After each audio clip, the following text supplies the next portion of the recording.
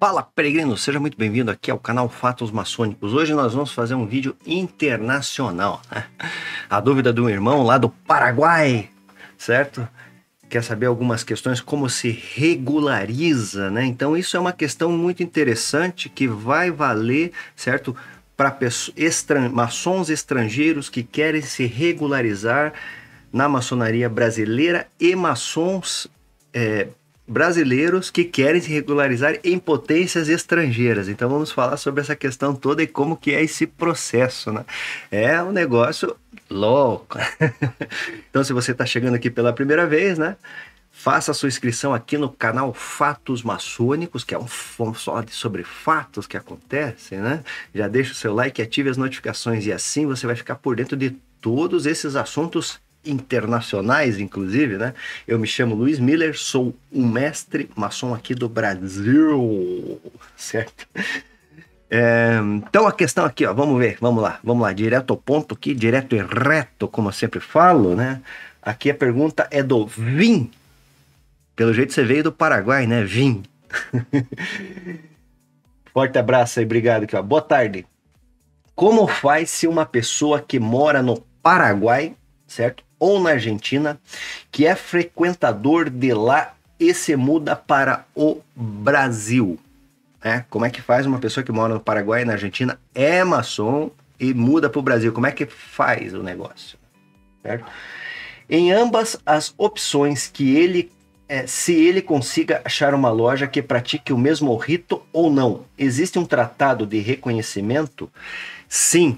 Qual que é a questão aqui vim ao vim, né, ao vim e a todos, né, que tem esse interesse. Seja um, uma pessoa que vem de um país estrangeiro e venha para o Brasil e tem interesse, claro, é uma maçom lá no país estrangeiro, independente de qual país que seja, né, que vem para o Brasil, e brasileiros né, que moram no, no país, que vão morar em outro país, né, que vão morar em outro país, como que é esse procedimento. Então a primeira questão que eu recomendo que você faça, Vim, é observar, né? Hoje tem a internet, ficou muito mais fácil, é observar o site da potência a qual você faz parte no seu país de origem, né?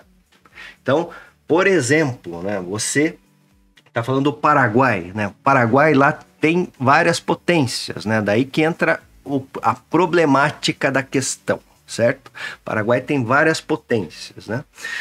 Então você faz parte, vamos dizer que você faz parte da grande loja simbólica do Paraguai. Lá tem duas grandes lojas simbólicas do Paraguai, certo? Daí você tem que entrar no site de sua potência, certo? Geralmente tem a questão dos tratados e ver que tratados de reconhecimento e amizade essa potência tem. Né? Nós temos vários e vários tratados que eles são do seguinte sentido.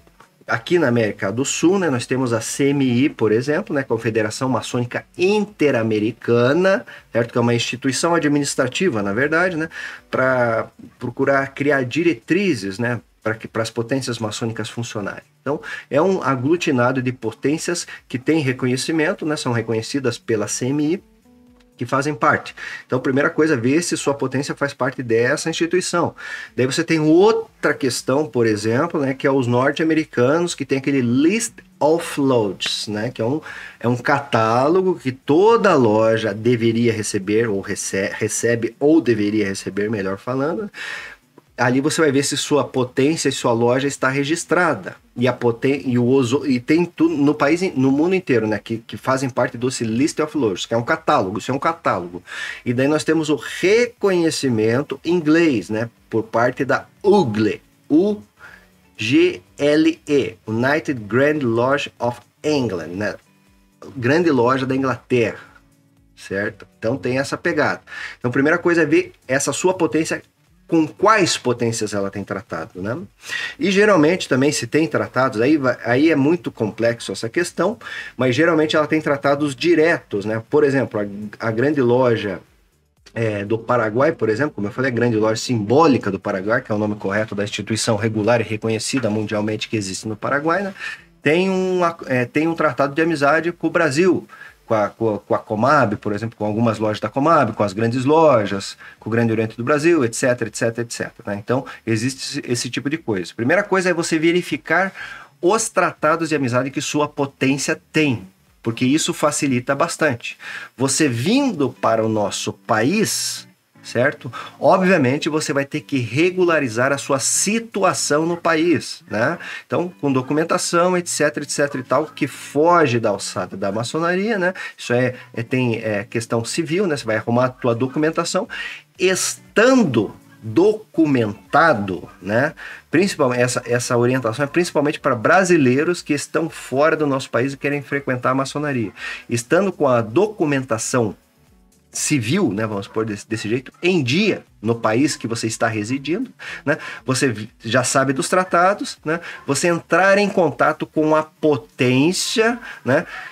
de forma geral, você pode entrar em contato com a potência, às vezes não é na, na cidade que você está, né? Por exemplo, você vem para o Brasil, você vai entrar em contato com o Grande Oriente do Brasil, por exemplo, a nossa matriz, vamos supor, né? A gente chama Poder Central, né? Fica em Brasília. E o Paraguai é aqui no, do meu lado, aqui, né? Do meu ladinho, uns 800 quilômetros mais ou menos, né? Eu tô aqui em Curitiba, tô do outro lado do mapa, né? E o, o Paraguai é do, é do outro lado, né? Eu tô aqui no, no, no Oceano Atlântico, aqui, vamos dizer, né? Eu tô 100, 100 e poucos quilômetros, Curitiba fica mais ou menos 100 e pouquinhos quilômetros do, do, do, do litoral, né? E o Paraguai fica no, na outra ponta do mapa, né? Fica do outro lado do mapa, certo? Então, o que que acontece, né? Você está vindo morar no, no, verificar a sua potência, né? De, de, e aí que é a questão do, por exemplo, do Paraguai e de outras potências também, né? Existem várias linhas da maçonaria, né? E elas são mundiais. Então, existe a maçonaria tradicional, a maçonaria liberal, né? A maçonaria mista e a feminina né? Dependendo de qual a sua potência faz parte, ou é uma potência independente, certo? Aí você vai ter que, como eu falei, se for uma potência reconhecida, se tiver reconhecimento, fica muito fácil, né? Você vê lá, ah, minha potência tem um reconhecimento do Brasil, tal, assim, assim, assado, ele é reconhecido por essa potência. Você manda o um e-mail e pede o procedimento lá que o pessoal vai te ajudar certo? Se não for reconhecido, daí fica complicado, né? Porque você está vindo de um país estrangeiro, né, que está querendo entrar numa associação que de fato não reconhece aquela associação do seu país de origem. Então já fica complicado, daí tem que ser mais um tete a tete. É como se praticamente, podemos pôr desse jeito, se não houver essa questão, né? Você tem que entrar em contato com o irmão, que daí fica mais, fica mais fácil, né? Uma loja próximo à sua casa, né? É, você tem que entrar em contato com, com um irmão de lá, procurar entrar em contato, se apresentar, certo? trazer, levar suas credenciais, né? Que todo mundo tem documentação. Quem é maçom é, é, é conservador, tradicional, como eu falo, né? Vai ter a sua documentação de um jeito ou de outro, né? Apresentar suas credenciais e conversar com o irmão como seria a melhor forma de fazer, né? E por que, que eu falo isso? Porque cada caso vai ser um caso né? Cada caso vai ser um caso. Então tem que ficar muito esperto com esse tipo de coisa, né? É, é... E o brasileiro na mesma situação, né? Você é brasileiro, certo? Está morando, sei lá, na Inglaterra, por exemplo. Tem bastante brasileiro. Um forte abraço aí os irmãos aí, maçons brasileiros que fazem parte da grande loja unida da Inglaterra, né? Tem vários, tem vários irmãos, né? Mas como que é o procedimento, né, para entrada? Geralmente o país estrangeiro ele é mais rigoroso em algumas questões do que aqui no Brasil, por exemplo, né? Não que aqui seja tudo é, uma bagunça só, né? Mas tem alguns países que são muito mais rigorosos do que aqui, né? Você é, terá que ter, ter, os documentos, obviamente, você vai ter que ter uma residência fixa no país, de, no país onde você está morando, né? E daí tendo uma, uma Cada país vai ter sua legislação. Isso eu estou dando linhas gerais da história, né? Você vai ter que ter uma. Mas geralmente, assim, o que, que é? Eles vão pedir uma residência fixa para você, obviamente, né? E muitas vezes o trabalho, onde você está trabalhando no país ali certo? Para poder começar o processo, né, analisar a tua ficha ali, né? Não tem problema, tem muitos brasileiros que fazem parte de potências estrangeiras, saem do país, vão morar em outro país, né? E o processo não é outro senão esse, né? Primeiro o cara tem que se é, regular, regularizar no país de, que ele está morando, né? Documentação, é, fonte de renda, né? Emprego, trabalho, é, é, é ter uma casa, etc e tal, né? E daí sim, se ele é, tiver interesse de entrar na maçonaria lá, ou regularizar, né? Também, né? Que tem essa questão, daí cada caso vai ser um caso ali, né? Tem que ter uma conversa lá, né? Ó, eu já sou maçom, tá? Eu, eu sou, por exemplo, fazer um exemplo, por exemplo, com perdão da redundância, né? Eu sou maçom, mestre maçom aqui no Brasil. Eu, vou dar um exemplo meu, por exemplo. Eu sou maçom aqui do Grande Oriente do Brasil. Regular, bonitinho, tenho meus documentos, tudo senhor, beleza. De repente, por cargas d'água, eu, eu, eu de repente é, procuro me mudar lá para o Grão Ducado de Luxemburgo, né? O que, que eu vou fazer, né? Eu vou olhar ali no site do grande, tem tem tratado de amizade.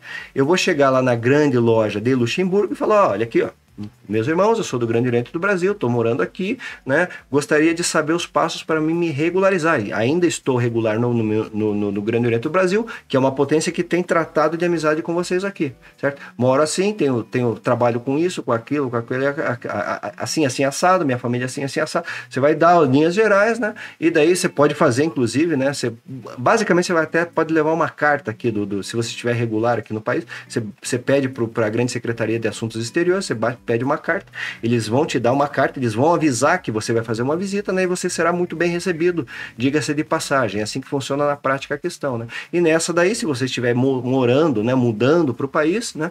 Você pode continuar é, é, visitando a loja, né? Como um visitante, né? E a partir do momento que se estabeleça o processo e que ele transite em julgado, você fará parte dessa instituição estrangeira, né? Já que é você escolheu morar em outro país, né? Mas não existe a questão, por exemplo, você que está assistindo esse vídeo, né? De você aqui brasileiro, né? Morando no país, aqui morando eu, eu, Luiz, morando em Curitiba, Paraná, certo? Vou me filiar lá numa potência que nem eu tenho os Illuminati maluco lá, lá dos Estados Unidos, né? O cara fala, não, manda aqueles lero-lero no WhatsApp. Não, vem aqui, você vai ser um, vai ser é, filiado aqui e gera todo dia me manda essas perguntas, né?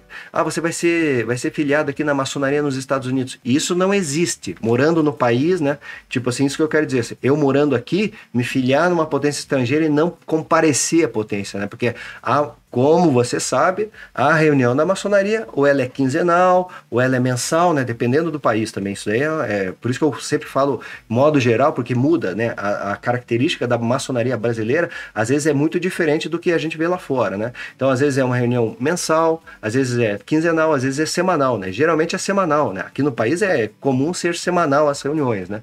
Então, você tá a maçonaria aqui no país é toda semana, né? Você tem lá a tua loja, você vai comparecer toda semana na loja, né?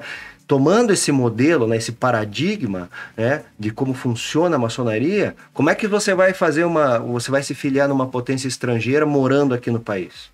Impossível. Você vai toda semana para os Estados Unidos para participar da reunião da maçonaria, ou uma vez por mês para os Estados Unidos? Tem que ter bolso daí, hein, cara?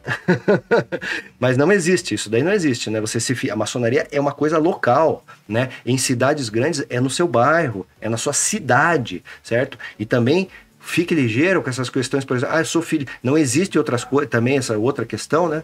Ah, eu sou filiado aqui no Paraná, por exemplo, sou de Curitiba, né? Eu me filiar no, no, no, no, no assim para participar na maçonaria na Bahia, por exemplo, né? Que é do outro lado do mapa certo? Então também não existe. Como é que eu vou fazer vi viagem para Bahia toda semana? Pô, cara, daí é longe, né? Bom, espero ter respondido a sua pergunta. Reitero a questão, obviamente, de você conhecer meu site luismiller.com.br, pois tem muito material bacana lá que vai lhe agregar muito, vai, é, como eu sempre digo, é, estourar a tampa da sua cabeça de conhecimento. Então, nosso próximo encontro, um fortíssimo e grande abraço.